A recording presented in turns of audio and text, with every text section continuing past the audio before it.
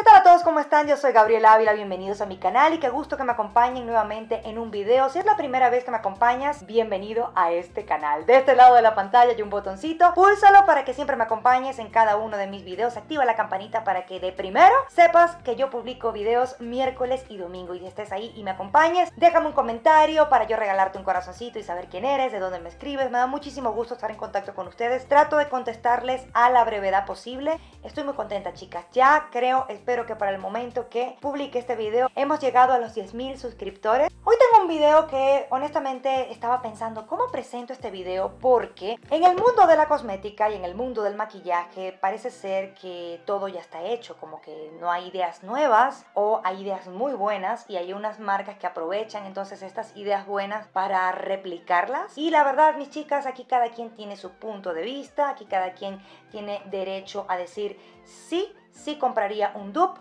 o no, no compro un dupe, me compro el producto original, no estoy de acuerdo con eso. Eso lo dejo a tu libre elección. Porque hoy vamos a estar hablando y vamos a estar haciendo reseña de esta paleta, este paletón enorme de la marca Ocalan, que como pueden ver es el dupe exacto de la paleta Metal Matte de Kat Von D. Si ustedes se quedaron con las ganas de comprar la paleta Metal Matte, las invito a que vean el siguiente tutorial porque tengo mucho, mucho que decirles al respecto de este producto. Sube la mesa de planchar. Es que este es el cuarto multiuso, mi amor. Chicas, y comienzo mostrándoles entonces la paleta, le voy a quitar el plástico, no la he tocado. Esta sí quería presentárselas en un tutorial completo. Como pueden ver, es el empaque exacto a la paleta de Kat Von D. Es exacto el tamaño, incluso, mis chicas. Voy a quitar entonces el plástico que protege esta paleta. Y tiene una selección de colores bien, bien bonita, mis chicas. Una paleta bastante neutra en cuanto a colores esta primera parte. Los ocho primeros colores, chicas, son bastante neutros. Hay varios colores que pueden funcionar para hacer una transición.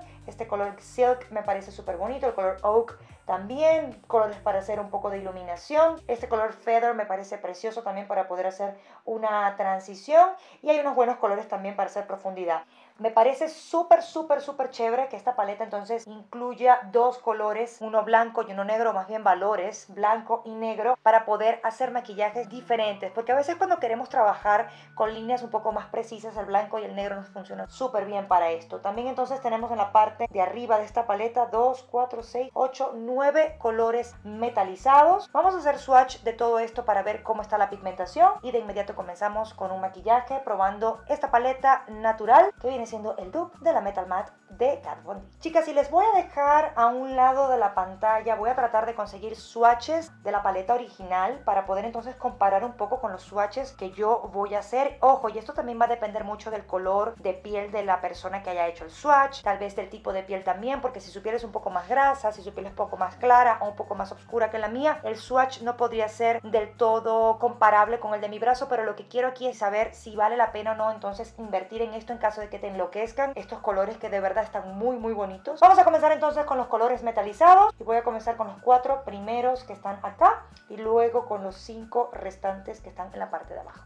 Nebula, Bat, Ignite, Tinsel, Glitz, Twinkle, Volt, Synergy y Flash. Lo sentí bastante cremoso, no las sombras más ultra cremosas que haya tocado, pero se siente bastante bien. Les recuerdo que yo tengo el tag de la paleta en este canal, se los voy a dejar a un lado porque la peor experiencia que he tenido ha sido con una de Ocalan. Entonces eso me, me pone a pensar si trabajan con formulaciones distintas, lo vamos a comprobar también hoy. Vamos a comenzar entonces con los swatches de la línea de los colores mate.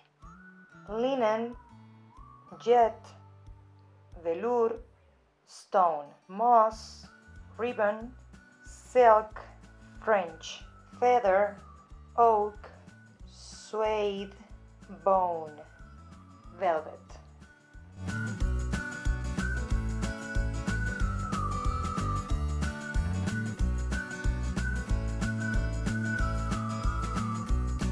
Hay varias de estas sombras que me gustan. Creo que tienen mejor pigmentación que aquella paleta que tenía también de Ocalan, que era un dupe de una de Alicia en el País de las Maravillas, que creo que era de Urban Decay, si no me equivoco. Entonces, chicas, vamos a comenzar. Me voy a quitar el swatch, porque no quiero estar manchando mi ropa. Y como siempre, voy a aplicar una prebase para ojos, chicas, pero tengo algo más que les voy a presentar en este video. Voy a estar utilizando la esponja de Miniso, esta en forma de diamante, que se las presenté en el video anterior de las compras de Miniso. Hoy voy a estar utilizando, además de esta paleta, muchas otras cositas nuevas que vamos a estar probando para ver si funcionan o no. Les voy a mostrar el tamaño de la esponja, lo voy a colocar aquí. Chicas, y ahora les presento la esponja mojada, exprimida. Creo que aumentó de tamaño, voy a poner la pantalla dividida una al lado de la otra para que veamos qué tanto aumentó de tamaño, pero siento que sí, que se aumentó algo. Y como siempre, si para ser justos, voy a estar utilizando prebase de ojos y voy a difuminar con la esponja de Miniso. Voy a estar utilizando este pincel de LA Colors, que es un pincel para difuminar. Ese también lo vamos a estar prácticamente estrenando en este video. Les digo prácticamente porque ya lo utilicé y ya conozco su aplicación, sé cómo funciona, está bueno el pincel, entonces lo voy a, a tomar en este video porque saben que no me gusta utilizar pinceles nuevos con sombras nuevas para poder diferenciar dónde puede estar la falla. Creo que voy a hacer un maquillaje verdoso en esta ocasión, tengo como, como ganas de hacer eso porque el anterior, los anteriores han estado un poco cálidos, entonces me voy a ir con sombras un poquito más frías. Voy a comenzar a tomar este Feather y veo que tiene un poquito de fallout, fíjense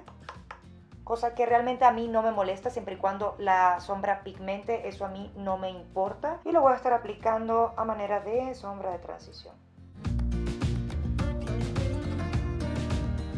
Es un amarillo bonito, siento que es un amarillo que tiene un, un subtono casi, casi, casi verdosito, pero muy ligero y me gusta. Espero que no se note que tengo que depilarme las cejas. La pigmentación está, está ok, tomando en cuenta que esto es prácticamente un color pastel y cuando los colores son muy, muy pasteles pudieran verse un poco tizosos, un poco como gis, creo que le dicen gis en México, sí, a la, a la tiza, como le decimos nosotros en Venezuela. Voy a tomar este pincel de Profusion, que es el P609, un pincel en forma de lapicito, para irme entonces con este verde que se llama Moss. Voy a irme con cuidado porque aparte de que están polvositas, desconozco la pigmentación y no quiero que quede demasiado verde, es apenas empezar a hacer la profundidad. Voy a hacer un halo look, que es la intención, vamos a ver si sale bien, esperemos que sí. Y lo voy a empezar a aplicar en la esquina interna del ojo. Este verde pigmenta, sí señor, y está bonito el color. Aquí me salgo completamente de mi zona de confort, chicas, porque yo con el verde... Mm,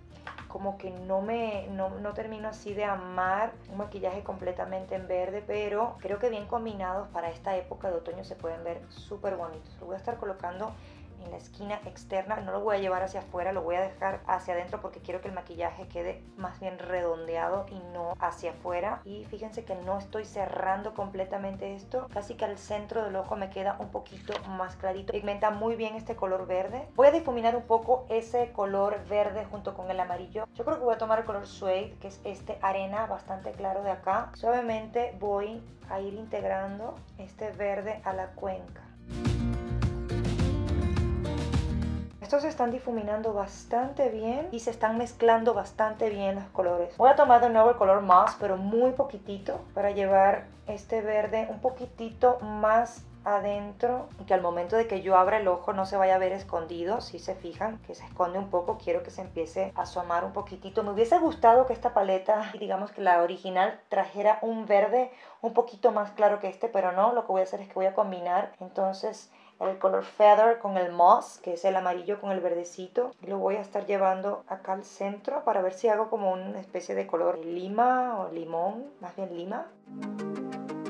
Creo que sí lo logro. Con un pincel plano voy a tomar el color Bone, que es este hueso. Precisamente es un color hueso tal cual. Me recuerda un poco a un color que trae la paleta Beauty Killer de Jeffree Star. Es prácticamente el mismo color, está súper bonito. Está muy bonita la pigmentación de este color bone. Le da realce al huesito de la ceja, pero no es completamente blanco, no es nada que ver como este linen que está de primer. Vamos a tomar ahora con el mismo pincel de lápiz el color Stone, que es un gris. No lo quiero hacer tan intenso. Con mucho cuidado me voy a ver desde abajo. Voy a marcar solamente la esquina externa e interna, suavecito para darle un poco de profundidad a esto acá.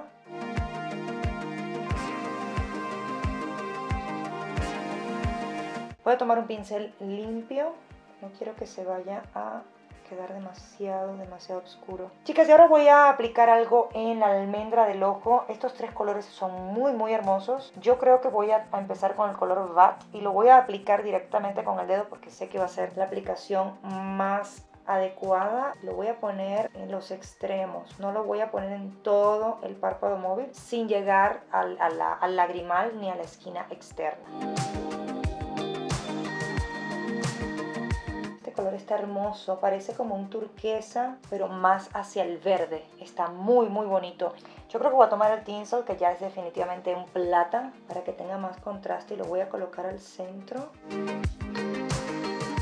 súper bonito y si pigmenta, se fijan, queda muy brillosita la textura y no me deja como la piel así como si fuese papel aluminio. Se ve muy bonita, es una fórmula distinta a la anterior. El tinsel es mucho, como mucho más húmeda. El color VAT, que es el verde, es un metalizado, pareciera que estuviese como un poquito más pulverizado. El brillito, se me antoja utilizar el nebula. Voy a tomar con mi pincel de lápiz y lo voy a colocar solo en la esquina. Vamos a ver si se adhiere un poco este azul. Está muy bello ese azul, pero no lo toma como quisiera. Creo que la aplicación, bueno, no, sí, sí se ve.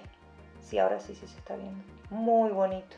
Voy a tratar de mezclarlo junto con el otro, con el bat. Yo creo que aquí sí lo voy a tener que aplicar con el dedo, este color nebula, el azul, para fijarlo y sí, se fija mucho mejor. Ya luego ahorita limpiamos esta esquinita porque sí, sí, se va a salir un poquito. Fíjense lo bonito de este azul. Me regreso al verde para reforzar, que quiero que se siga viendo. Me siento como un pavo real, pero me gusta mucho, la verdad.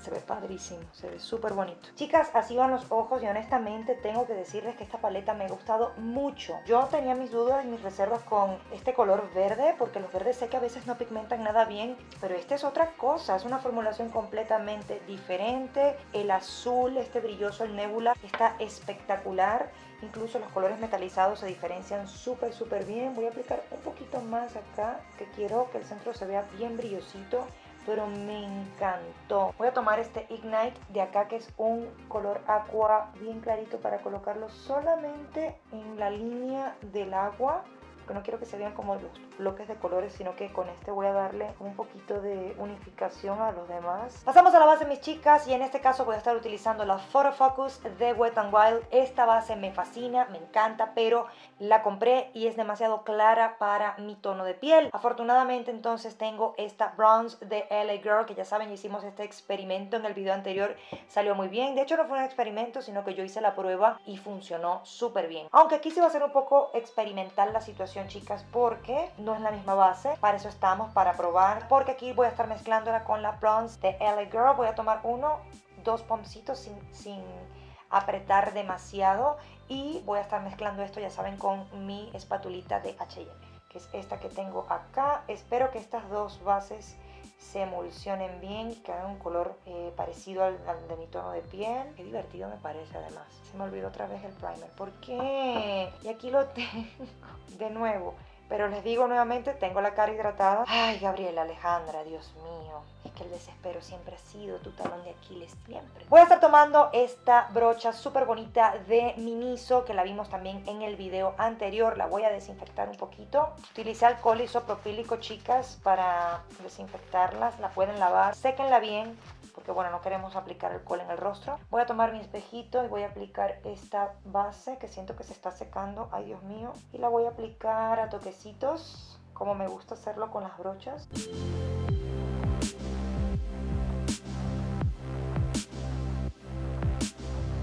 La siento un poquito rasposita, no les voy a mentir, no es una brocha que me encante. Voy a pasar ahora sí a la esponja para entonces darle el difuminado que me gusta darle a mí con las esponjas a las bases. Me gusta esta esponja, esta esquina de diamante, la esquina del diamantito, porque me ayuda a llegar como a las esquinitas de acá del surco de la nariz, de acá cerca del lagrimal, eso me parece que está muy chévere. Esta parte de acá, esta parte redondita, me gusta bastante porque si estuviese aplicando la, la base solo con la esponja, lo haría con esto y de esta manera distribuiría y también la, la empezaría a difuminar. Sí, robó producto porque obviamente es una esponja, pero no siento que sea una, esponja de esas que se llevan todo.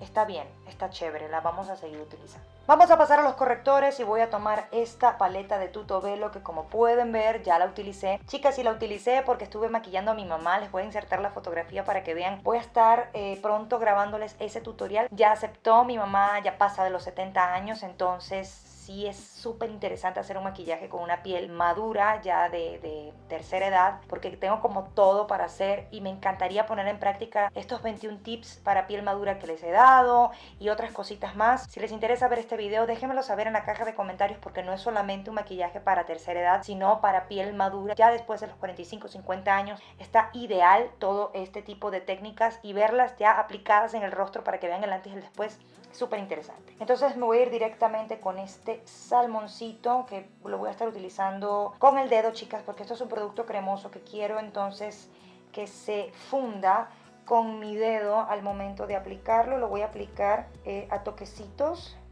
debajo de mi ojera para iluminar acá. Siento que me está quedando muy claro. Entonces me voy a ir con el producto que está al lado, que es un poquito más salmón y ahora lo que voy a hacer es que con la esponja lo termino de integrar. Y mientras más le voy dando estructura al, rostro más me está gustando el look de ojos. Está súper bonito. La paleta de Tutobelo me gusta me gusta porque eh, con la mezcla de los dos colores estoy dando además de cubrir la ojera le estoy dando ya un poco de iluminación. Algo que me gusta de esta paletita tiene una consistencia un poquito densa, pero está padre porque termina como de rellenar poros. Eso está bueno. Tienes piel grasa, entonces este tipo de productos no te los recomiendo. Más bien como para una piel un poquito más seca, porque sí, es un poco más cremosa que cualquier otra. Vamos a hacer contornos. Y me voy a ir con el Wonder Stick de NYX porque no tengo ningún producto en crema y quiero terminar de hacer toda la parte de corrección con cremas. Me voy a ir de nuevo con la brocha de Miniso porque creo que para esto sí me va a gustar para difuminar productos en crema. Vamos a ver.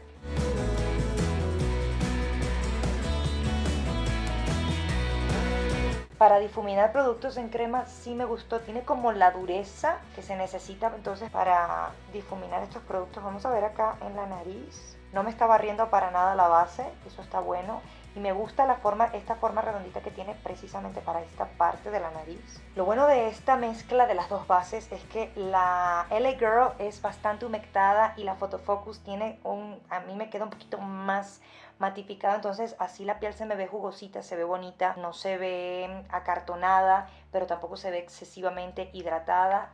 Yo voy a sellar esto porque me gusta sellar mi, maquillaje, pero pudiera no hacerlo, chicas, se ve súper bien. Vamos a irnos con el RCMA, ya saben que me encanta, y voy a tomar una de las esquinas para hacer baking en algunas partes del rostro. No la voy a hacer debajo de la ojera porque siento que este corrector es un poquito pesado y si le aplico mucho polvo tal vez me va a quedar muy pesado el área de la ojera. Pero sí voy a colocar un poquito para sellar las áreas donde normalmente nos suda más el rostro polvito con una brocha para que quede sellado. Y mientras la magia del baking en algunas áreas del rostro se hace, pasamos a las cejas. Para las cejas tengo este producto de la marca Cara Beauty. Espectacular, chicas. Ya lo usé. Este no va a ser un primeras impresiones. Este ya lo usé y está maravilloso. Si tienen Cara Beauty eh, cerca o pueden comprar, esto es una maravilla. Es una pomada en el color dark brown. Es el color que yo escogí para mí. Me queda perfecto. Se me hace mucho más fácil trabajar con un pincel y con un producto en crema que con un creyón, cada quien con sus cosas, pero esta, esta pomada está ideal porque te deja la, la ceja peinada. Es un producto con una pigmentación buenísima, no es excesivamente cremosa, es un producto más bien durito. Tiene una consistencia ideal, ideal chicas, y les recomiendo que cada vez que tengan este tipo de productos úsenlo, tápenlo y cada vez que vayan a, a utilizarlo hagan lo mismo porque se secan súper rápido. A la hora de tú trazar una línea, te queda la línea más precisa,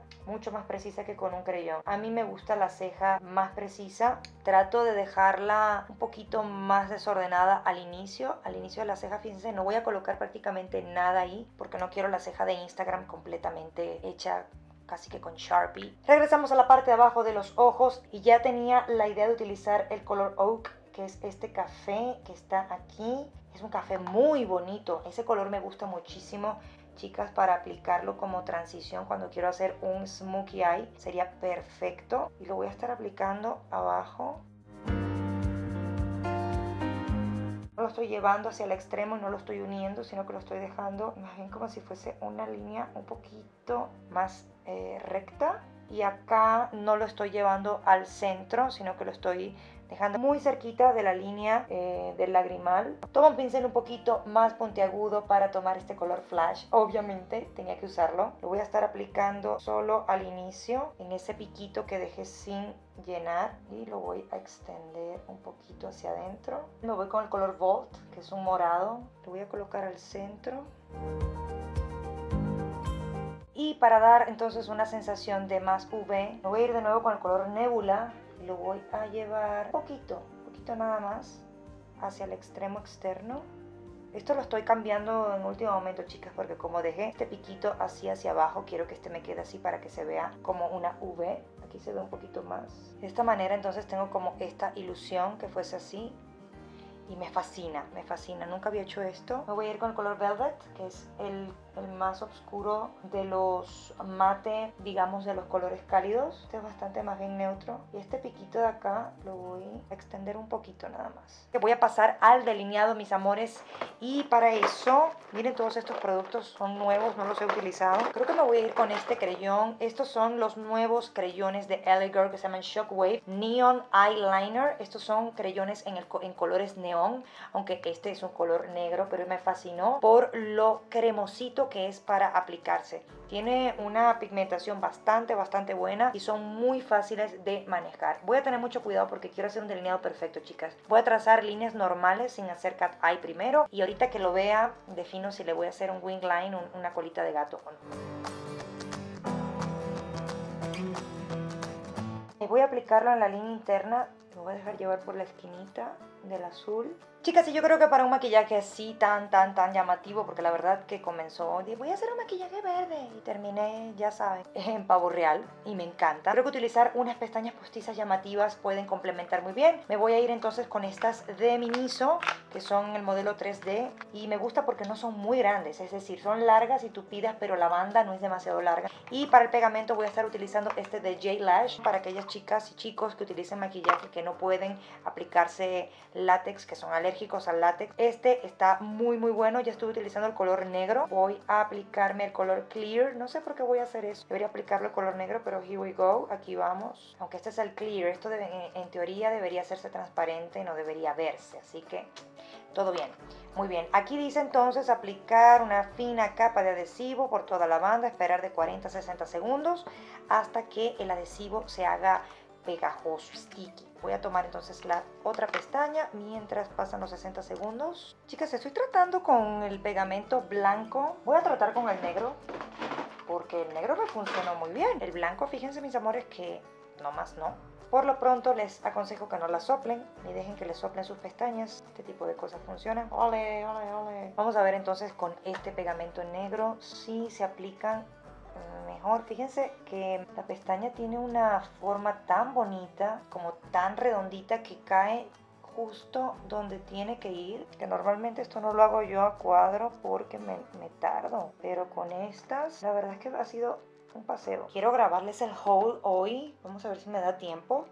Aquí lo que voy a hacer es un poquito de bronceado, no voy a hacer un, un contorno marcado ni nada, entonces de estos dos colores la vez pasada utilicé este, voy a utilizar este que es ay se cayó una brocha, que es completamente mate, el otro tiene brillitos, aunque les digo no se notan casi. No voy a hacer contorno, pensé que sí lo iba a hacer, pero no, porque tengo demasiado color en los ojos y además el diseño es bastante, bastante audaz. Entonces voy a dejar el rostro un poquito más simple ya conocen mi opinión sobre esta paleta de Profusion. Si no la vieron, las invito a que vean el último tutorial que les acabo de subir, el de la paleta Journal Flame de cara, donde utilizo esto también, está estupenda. Voy a hacer lo mismo que hago siempre con, ya se cayó el otro pincel, con estos em, rubores, aplico un poquito del durazno, un poquito del rosa, apenas y ya listo. Para iluminar tengo este Strobe Light Strobing Powder de LA Girl que está súper bonito en el color. Eh, viene siendo el número 90, se llama Vatio 90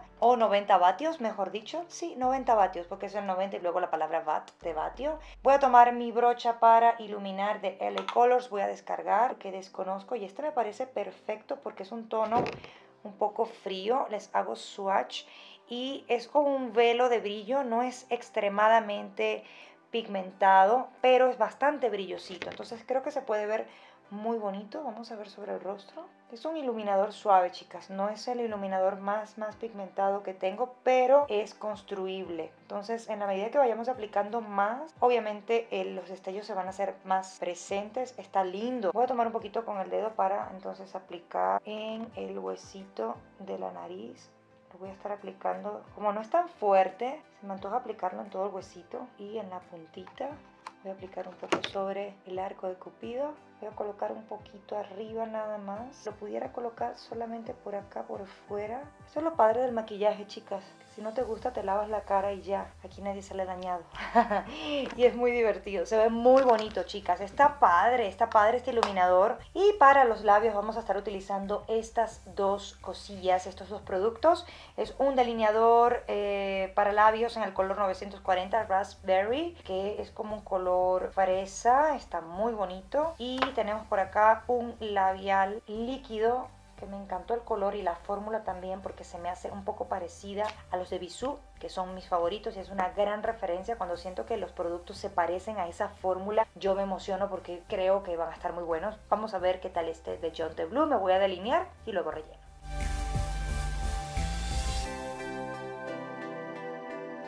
Voy a tratar de mantener las líneas de mis labios, no hacerla demasiado por fuera, pero como está tan llamativo el look de ojos, quiero mantener los labios como un poquito más recatados.